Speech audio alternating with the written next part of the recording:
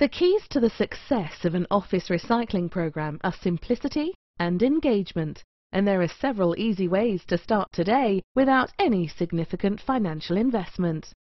The first step is to look around your office and identify areas of waste. After identifying areas of unnecessary waste in your office, it's time to come up with a plan to deal with it. The most important part of the process is to just start somewhere, comfortable with the knowledge that any effort contributes to a better world, as well as helping to build a stronger economy. A common method for ensuring success in any endeavour is to partner and network with like-minded individuals and organisations. Discover the Vanguard Cleaning Systems difference. Give us a call today in Bakersfield 661 395 3009. In Fresno 559 473 1790.